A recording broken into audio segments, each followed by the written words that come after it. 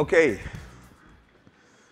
Ladies and gentlemen, hello, good afternoon, good evening.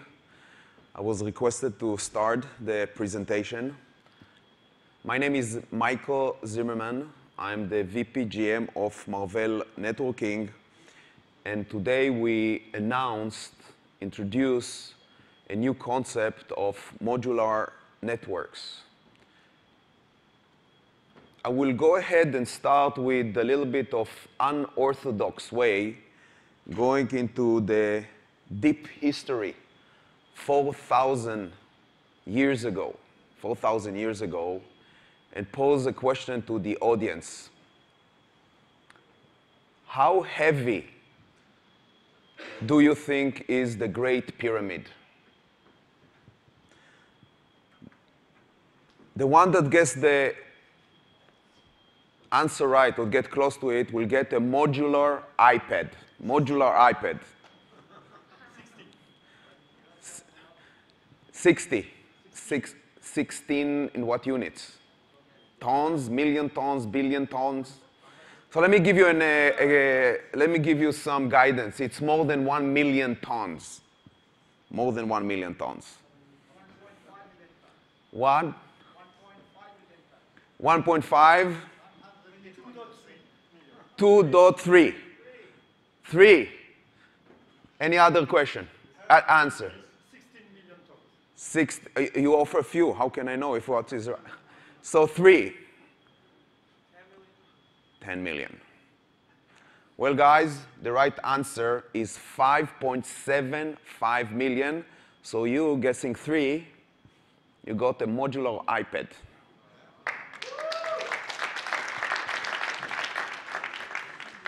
Excellent. So why I start with the Great Pyramid? If you think about this massive project, this monolithic, huge structure that weigh like, um, like 16 Empire State buildings, this is a very, or actually impossible project to build as one gigantic unit. For example, the most sophisticated crane can uplift 850 tons. So how can you do that 4,000 years ago? You use modularity, which is breaking the problem, the big monolithic problem, to smaller pieces and address these smaller pieces in progressive way. So it looks like, you know, childish to present that as humanity understand modularity long, long time ago, but it's very fundamental if you think about the concept. First of all, we have manage, manageable building blocks. We can innovate in a smaller scale. We can do different custom building blocks. We don't need to erect one huge structure and work down at a smaller level. We can collaborate easily. We are dealing with small building blocks, separate the problem, separate the innovation into multiple building blocks. The tools that we can use are standard. We're just building blocks or modules. And most fundamentally, we can scale to any size. Scale to any size. We can build big pyramid, big dies, small dies, square pyramids, out of shape pyramids. We can do that in a very easy way. So bringing ourselves back from the old history to the recent present. This is the way most of us think of networking deployment. There is a top of rack switch at 3.2 tera.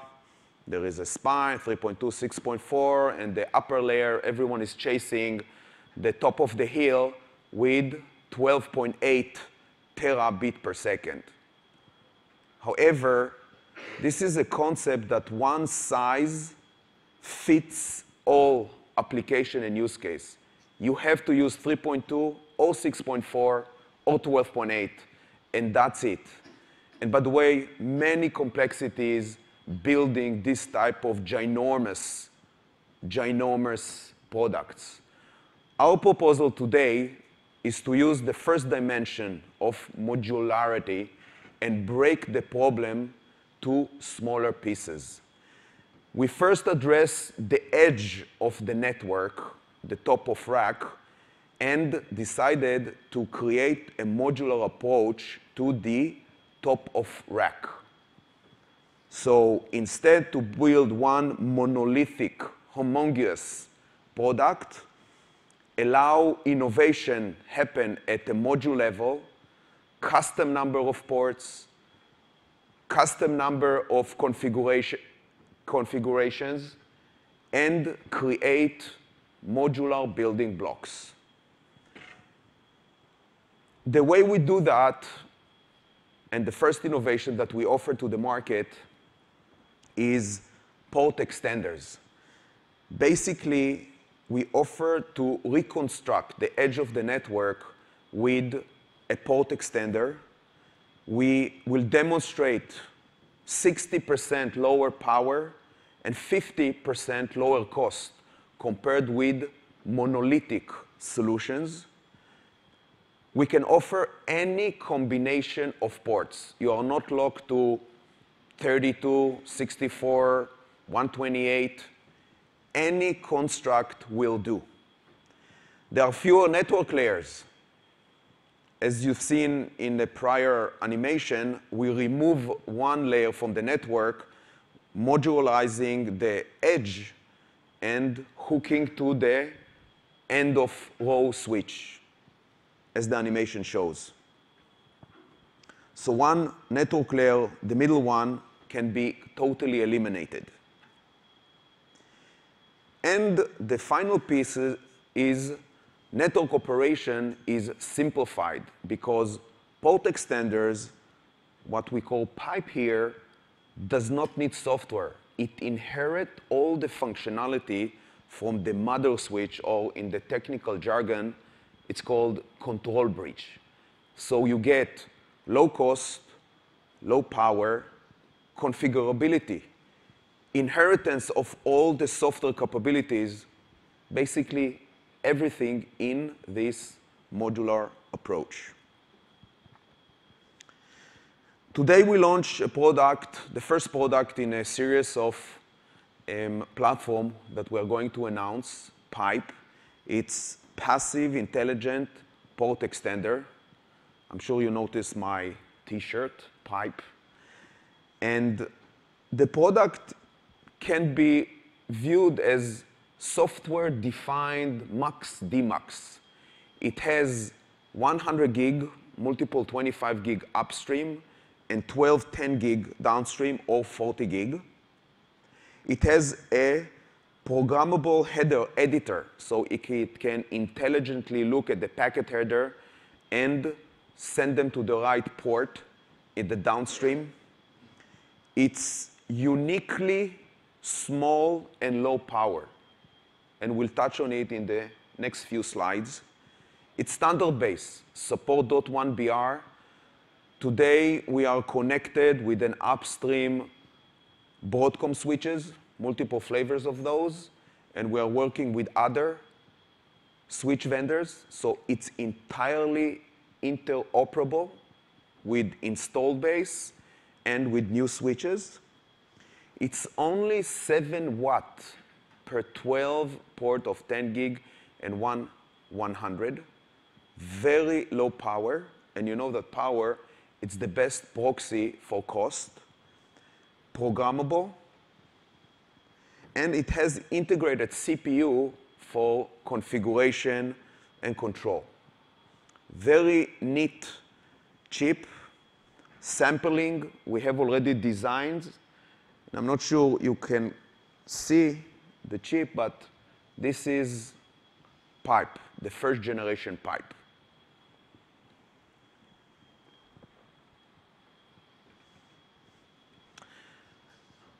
I'll go ahead and demonstrate the unique advantage of a pipe. So I'm sure you guys have been in, a, in data centers, in a typical data center. Who who here was in a data center? Please raise your hand. Very good. So a typical soundtrack, the way a data center sounds, is something like that.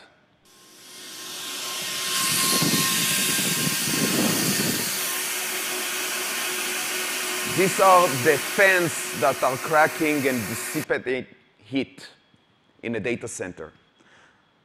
We believe that we can do way better. This is a typical 4810 gig switch with 4100, and we build a pipe with a, a pipe-based board with similar configuration. And this is a pipe-based board, 4810 gig plus 4100. Now just look at the size of the PCB, and by virtue of size and power, you can understand the proxy for cost and affordability for this type of deployment. We believe with Port Extender, we can completely overhaul the network edge and entirely provide new elements of deployment costs. So we believe, and we demonstrate that, that 4810 gig plus 4100 will be fanless. And this is only indication what's coming next with 25 gig and 400 gig based deployment. So a data center with pipe will sound like that. That's it, no fans.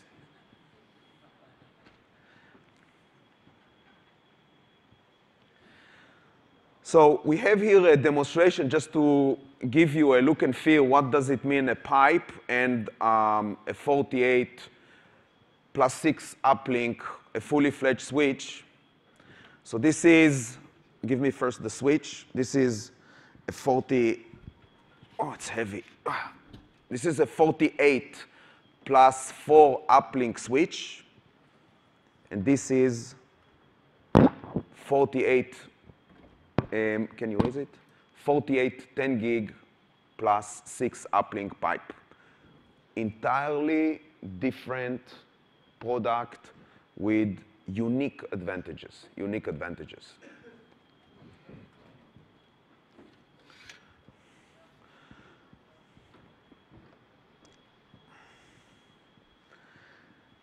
Pipe is the first product in portfolio that Marvell is launching, and we are committed to this space to overall the network edge.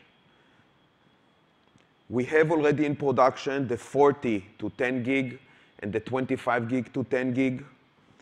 We are now sampling available the pipe, the passive intelligent port extender, which is 100 gig, 25, 50 to 12, 10 gig. And this is ready already in customer designs.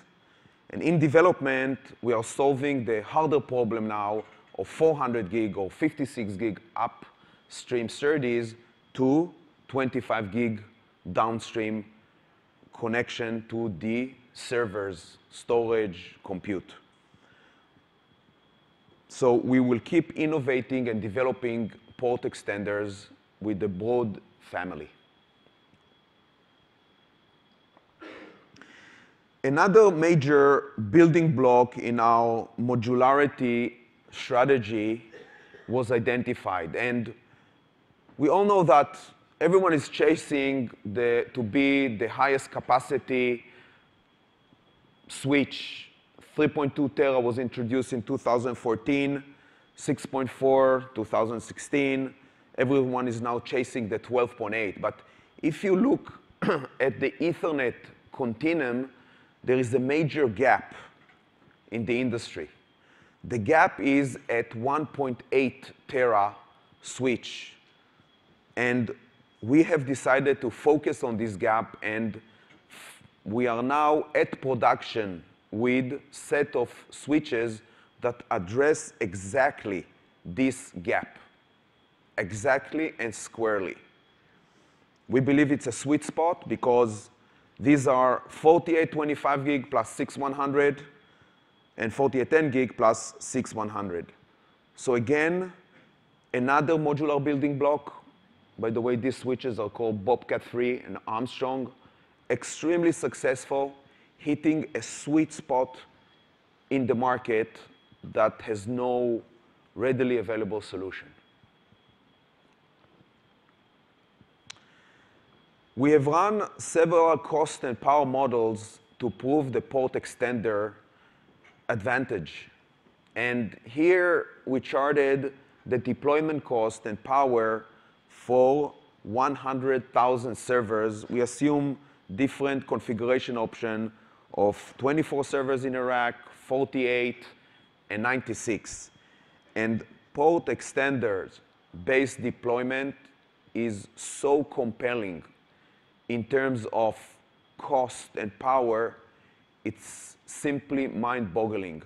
So just to give you an example, in this specific configuration, there is a 64% of cost saving compared with the fully fledged switch, and a 57% of power, kilowatt power, saving compared with a fully fledged switch.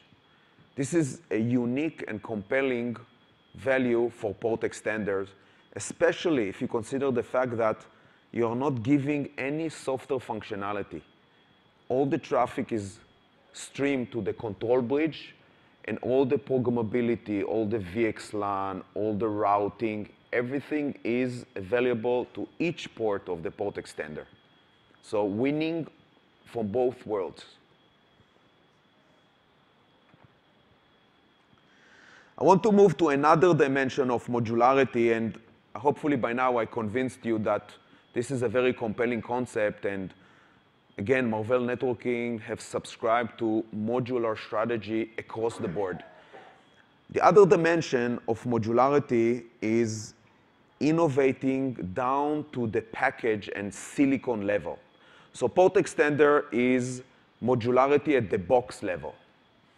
But we believe we can do modular approach down to the silicon level. For that, SerDes technology is critical.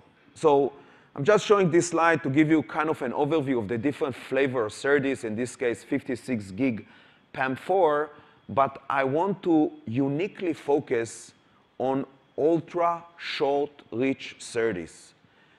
These SerDes are capable to drive a lot of bandwidth for very, very short distances. And I want you to take an assumption, what would happen if we can do not only 56 gig ultra short reach SerDes, we actually can do 400 gig ultra short reach SerDes. 400 gig. So now I, I can create a stitching technology between dies which is extremely high throughput. And instead of building huge dies, huge pyramids that takes years and have multiple risk factors, I can modularize the problem into multiple dies and use this technology to stitch the different functions. This is the second dimension we are pursuing in our modular strategy. So just an example. Everyone is pursuing the 12.8 tera bit per second switch, and most of the switch silicon companies have committed to this space. But if you look at this silicon, it's actually a bunch of IOs a lot of MAC and a lot of services and a lot of memory. This is a huge pyramid. Who is the one that gets right, almost right, the pyramid weight? This is a huge, monumental effort to build, but not only effort, it creates complexity that I'll cover in a second beyond, beyond any reasonable thinking. We believe that modular approach will happen down at the silicon level. Hence, we believe that capacity will be disaggregated from the I.O., which means the packet processing logic, whether it's programmable or not, will be separated from the memories and the IOs. And the enabling technology is a high throughput, ultra short reach SerDes. So what this modularity approach will give us? First of all, IOs can innovate in a different path from the main packet processing. There is no reason to blend both into one monolithic decision pattern. You can use different processes. You can use different fabs. You can use different manufacturers. Only thing is to subscribe to the high throughput SerDes technology, the high throughput. And we are driving, we are driving the way to create an open platform so innovation can happen in multiple dimensions. IOs, packet processing, the memories, and much like software-defined network, when we try to separate the software innovation from the hardware innovation, similar trend here. Every technology building block is innovating in its own pace with the right optimized process, fab, manufacturer. So this is what is coming in Marvell modular strategy. We started with the port extender, modular at the box level. We have launched the sweet spot switches building blocks, as I mentioned, 1.8 tera. And our next goal that we've been working on for the last year and a half is modularity at the chip level. By the way, we are doing it already for several of our SoC processor products already in production that are stitched. The, if you X-ray a chip, you will see that it's designed around few dies. And also our PHY technology is designed with this capability. So we are 100% behind modularity. 12.8 is coming, and you will see us uh, next year with a very, very massive launch of a new modularity groundbreaking technology. Thank you.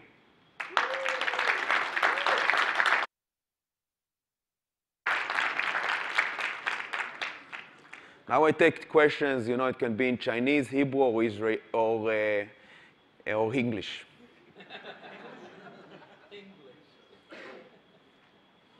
No question, very clear. I provision 10 minutes for uh, questions, guys.